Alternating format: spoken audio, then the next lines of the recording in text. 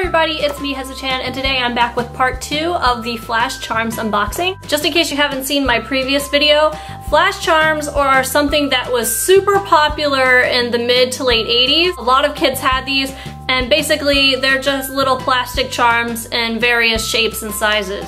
Today I have 11 to unbox with you guys, so let's get started. Here are the 11 charms that we're going to unbox today, and today I guess we'll start off with opening this toilet. Okay, so here's our second toilet. The first one, if you remember, was a pink one. This is a white one. It has a purple lid and a green lid too. Next, we are going to open the root beer float. So most of these food item charms actually have googly eyes, which I really like. Um, this one's super adorable. He comes with a red hook and he also has a little red straw to match. Next we're going to open the goldfish. And here is the goldfish charm. Of course when you look at it from above the goldfish seems really small, but when you look at it from the side the goldfish is way bigger. Next up we're going to open the donut. I really like this donut with the frosting detail and especially those little sprinkles on top. And another thing I really like about this is unlike the other food items which have googly eyes, this one does not. Totally good enough to eat, right? Next we're gonna open the banana. This is the banana. I actually had to look through a whole bunch of them to find some that didn't have the eyes coming off of it. For some reason, a lot of these banana charms, the eyes were sliding off of the top of it. And you can see its peel is open.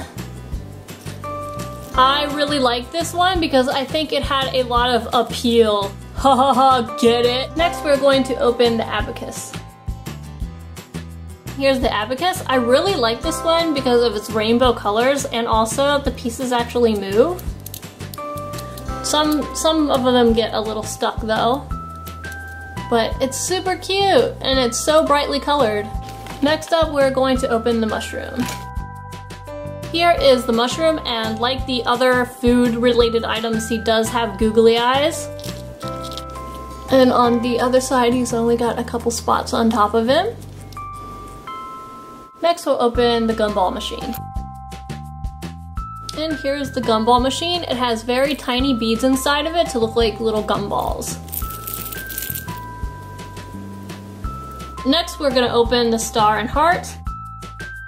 They also come in red and yellow, but I really like pink and blue, so I was very attracted to these two colors, so that's why I picked this one up. Next, we're going to open the trash can. And here's a little trash can. It actually opens up. And inside is a little fishbone. You could also stick like little notes or something inside of it. And last but not least, we have the whistle. Here's what the little pink whistle looks like, and it actually functions. Let's see if I can get it to work. And now I have lipstick all over it.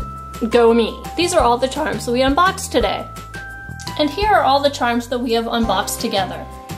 And that's it for all the flash charms. Like I said, I kind of went a bit nuts in purchasing a lot of them when Michaels had the get three for the price of one sale a few weeks ago. Let me know in the comments below which one is your favorite. As always, thanks for watching and I'll see you next time. Bye!